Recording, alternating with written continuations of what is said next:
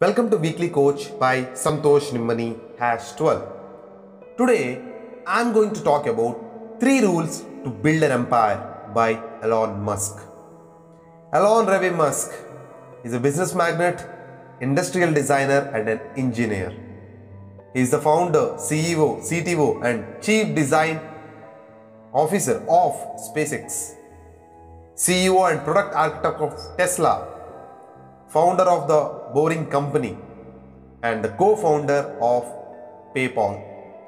Recently, Elon Musk became the richest person in this world. He is one of my inspiration. In this podcast, we'll listen to three rules which are used by Elon to build his empire. First, do what you love. Whatever area you get into, you are the best in that. There always a chance of failure. According to Elon, it's important that you really like whatever you are doing. If you don't like, then life is too short. If you like what you're doing, you think about it even when you are not working. Something that your mind is drawn to, if you don't like it, you just really can't make it work, according to Elon. So, this is so profound. Yes, true, this is you have to love what you do. If you're not loving it, just leave it and search what you love. The second is about focus on signal over noise. This is so profound formula which Elon has shared. Focus on signal over noise. He says that a lot of companies get confused and they spend money on things they don't actually make the product better. For any given company, keep thinking about all the effort that people are expecting and the results should be a better product or a better service. If they're not doing it, Elon asks them to stop the efforts.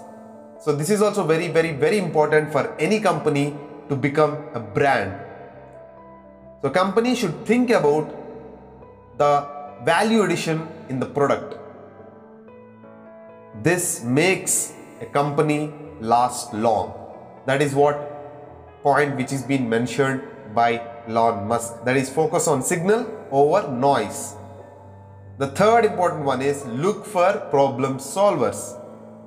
Elon says that when he interviews people, he asks them about the problems they worked on and he asked he will ask them how they solved them.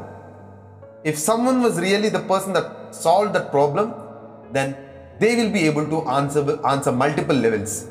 If they won't, they will get stuck. And then we get to say, oh, this person was not really the person who solved it.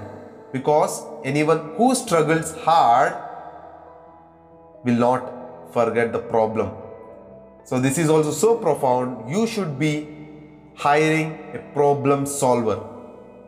And this is how Elon tackles it. With this, we are done with this episode. Thank you. We'll meet you in the next episode of Weekly Coach by Santosh Nimmani.